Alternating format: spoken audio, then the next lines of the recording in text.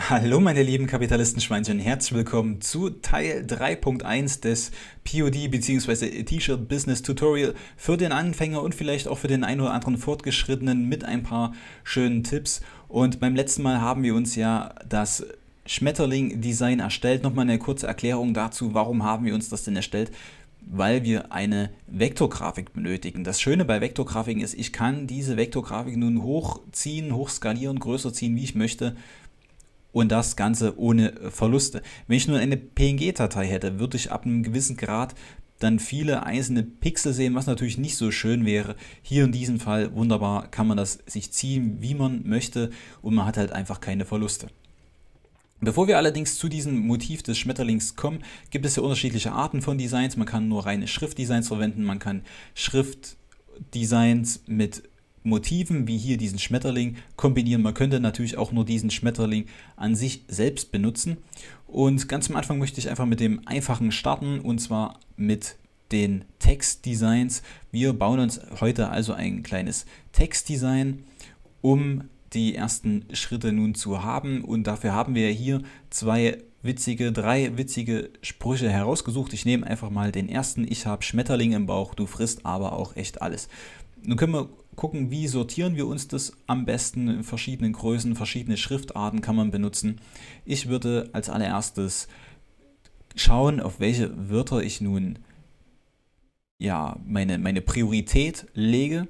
In diesem Fall wäre das für mich Schmetterlinge, da es ja sich um Schmetterling-Designs handelt wir wollen Leute ansprechen, die Schmetterlinge schön finden oder toll oder witzig oder irgendeine emotionale Bindung dazu haben, ja, generell tierliebe Leute und dann natürlich, da es ein witziger Spruch ist auf du frisst, dementsprechend werde ich das hier auch staffeln. Da werde ich als allererstes mit ich hab anfangen, also werde ich hier mein Textobjekt erstellen, hier drüben bei A. Ich kann nur einfach auf Tastatur T drücken, dann habe ich das gleiche Feld.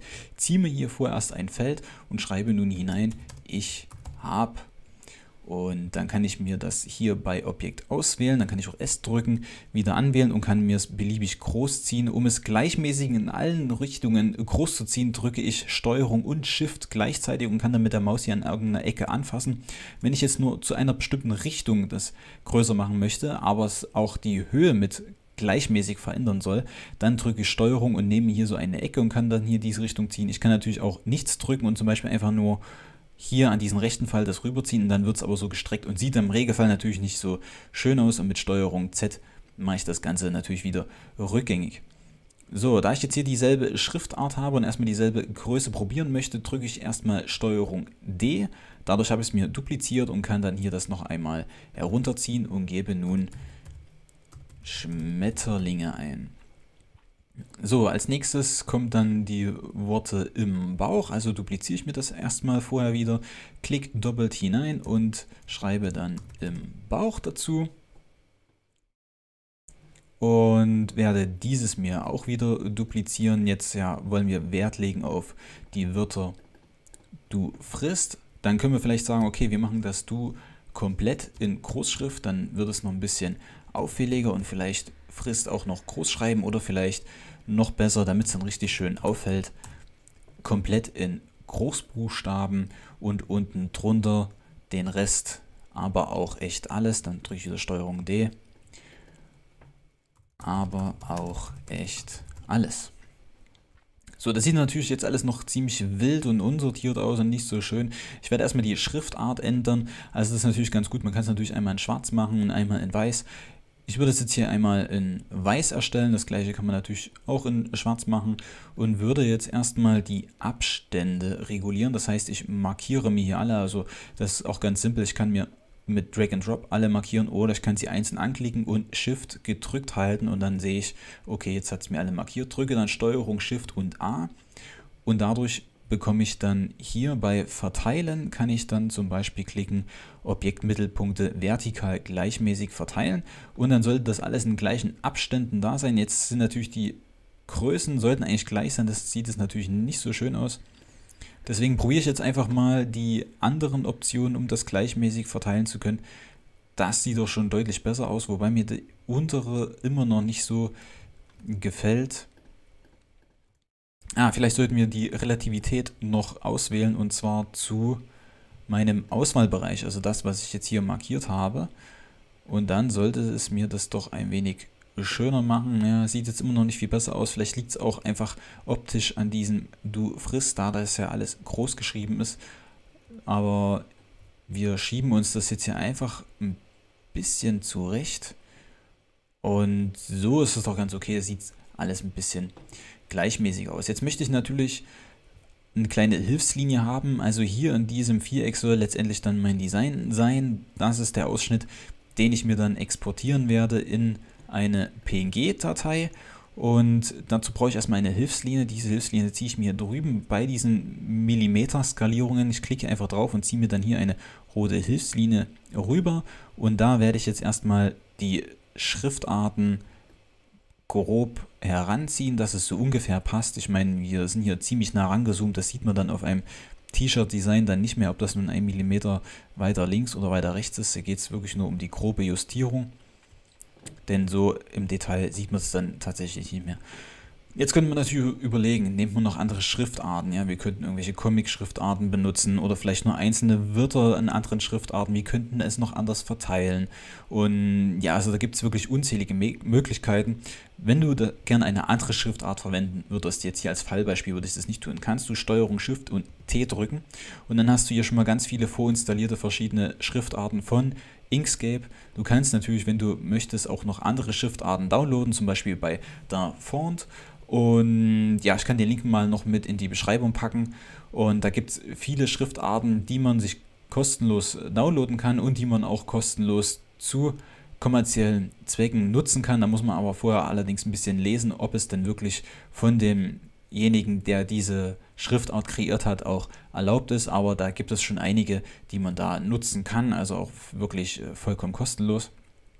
Und jetzt möchte ich das natürlich alles ein bisschen hier in meinem Schema mit reinhaben in mein Design. Deswegen werde ich jetzt hier drüben noch eine Linie ziehen. Die sollte dann auch ungefähr den gleichen Abstand haben wie hier, aber das können wir uns dann nochmal genauer zentrieren. Ist erstmal nicht so wild.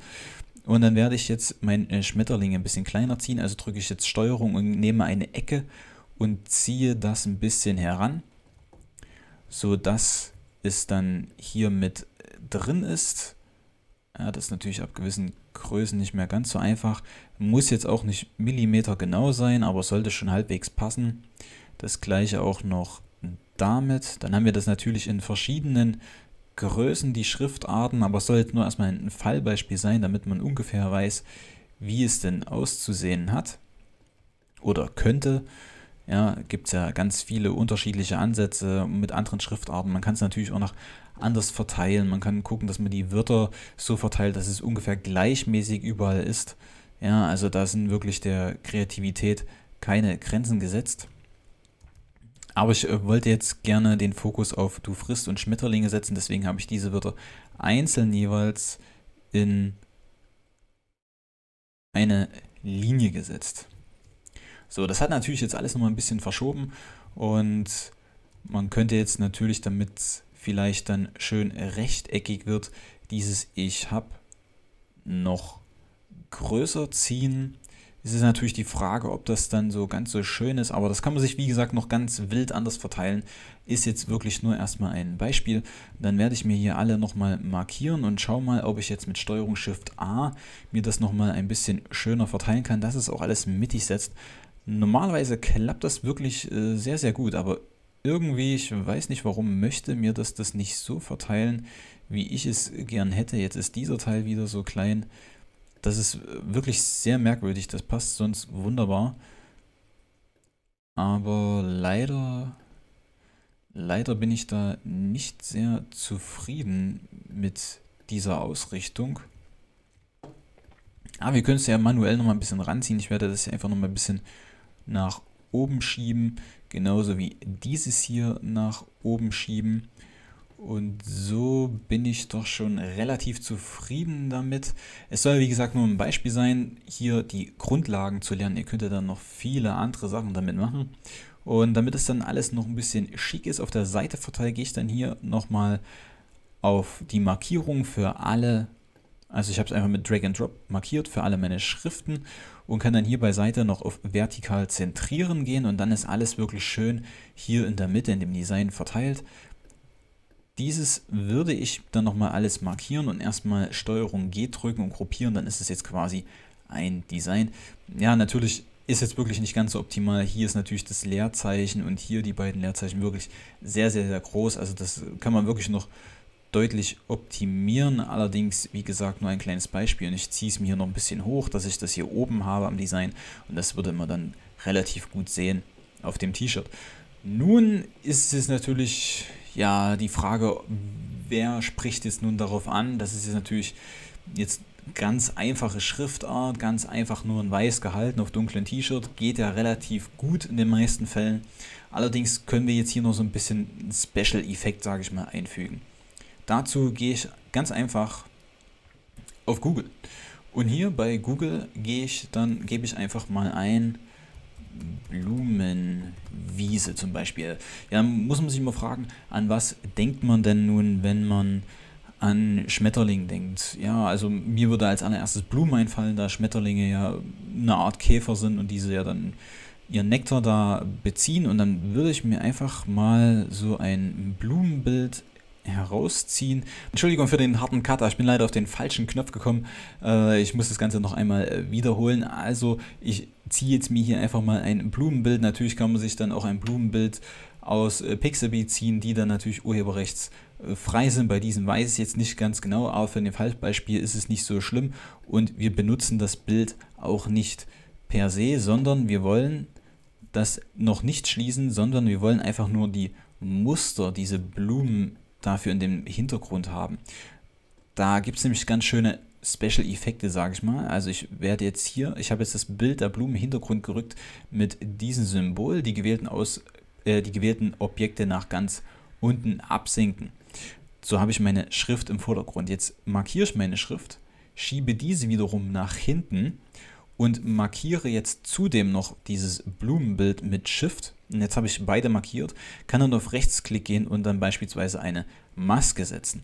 Und jetzt finde ich es immer ganz schick. Jetzt hat man hier so einen schönen Effekt. Natürlich, das Bild war jetzt nicht wirklich sehr scharf, das war jetzt keine gute Qualität, aber man sieht, ist schon irgendwo ein cooler Effekt. Und wenn ihm das zu viel ist, weil jetzt sind doch hier doch teilweise sehr dunkle Stellen und es sollte ja ein bisschen an ein, ein Blumenfeld, eine Blumenwiese erinnern, kann ich zum Beispiel nochmal Steuerung D drücken und dann dupliziert das nochmal, dann wird es ein bisschen heller und wenn ich das nochmal drücke, so und ich drücke es noch ein drittes Mal, so finde ich das eigentlich ziemlich schick. So sieht es gut mehr Used Look aus als, als, ein, äh, als eine Blumenwiese.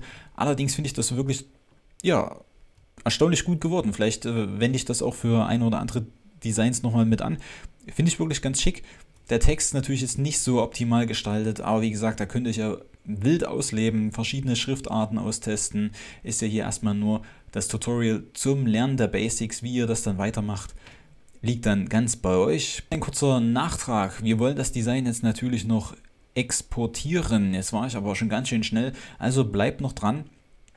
Und zwar möchte ich das jetzt als PNG-Datei haben, möglichst in einer schönen hohen Auflösung und natürlich dann auch in den Auflösungen, wie es denn am besten für Spreadshirt und Amazon MBA und den anderen Plattformen ist. Dafür drücke ich Steuerung, Shift und E. Dann bekomme ich, komme ich hier in diesen Exportbereich. Jetzt kann ich natürlich die Zeichnung exportieren, allerdings wäre die Zeichnung quasi alles. Und ich will jetzt ja nur diesen Ausschnitt haben von ich habe Schmetterlinge im Bauch du frisst aber auch echt alles, dann gehe ich hier auf Seite und dann würde es mir nur diese Seite hier exportieren. Ja, und dann stelle ich mir hier noch, jetzt ist ja das Problem mit der Bildgröße, die Höhe und Breite, stelle ich mir bei DPI 300 ein und schon bekomme ich das ganz automatisch eine Breite von 4500 Pixel und eine Höhe von 5400 Pixel und das ist genau die Höhe, die Breite, welche für Amazon als optimal gilt. Das ist zumindest für die T-Shirt-Designs so. Für die Hoodies sind es natürlich noch ein paar andere Höhen. Das kann man dann hier aber alles nochmal separat angleichen und wiederum exportieren. Ja, und dann kann ich mir das Ganze einfach einmal exportieren. Ich habe das jetzt hier auf meinem Desktop exportiert und dann schauen wir uns das gleich nochmal an. Ja, ich habe gerade natürlich gemerkt, dass wenn ich es mir jetzt noch einmal angucken möchte und es ein PNG, habe ich das natürlich nur als weiße Schrift dastehen. Das ist also jetzt nicht ganz so günstig. Ich müsste es natürlich nochmal hochladen, aber wir können das Ganze jetzt einfach mal noch als äh, Fallbeispiel machen in schwarz. Das heißt, ich ziehe mir diese Designs nochmal fort.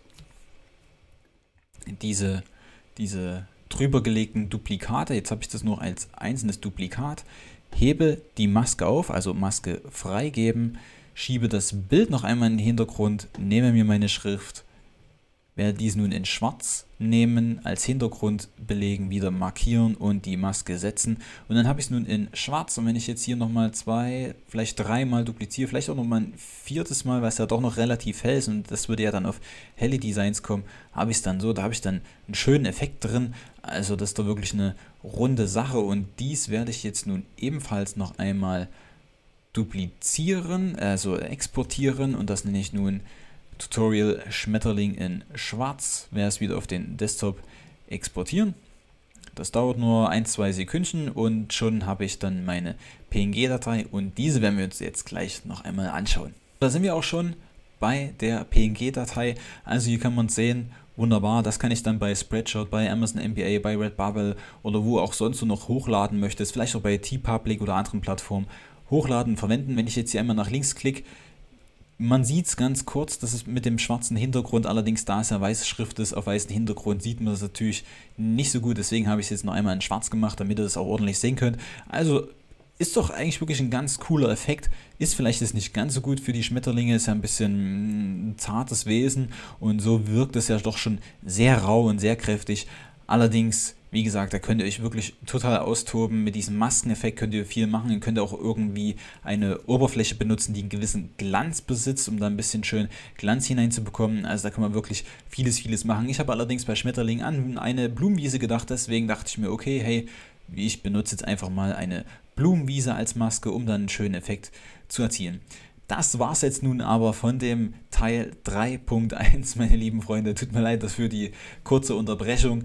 Allerdings ist es ja doch ganz schön geworden und ich hoffe, du hast viel Erfolg in dem POD bzw. T-Shirt-Business. Ich wünsche dir wirklich alles Gute. Es ist genug Platz auf dem Markt da, auch für dich. Es gibt mehr als genügend Kunden, die bedient werden möchten in unterschiedlichen Nischen. Und bleib einfach am Ball, zieh wirklich durch, mach dann von einem, von einer Nische wirklich 20, 30, 40 Designs, lad die alle hoch. Da kommen wir nochmal genauer dazu im weiteren Teil des Tutorials für die ganzen Upload-Geschichten. Wie lade ich hoch? Wann lade ich hoch?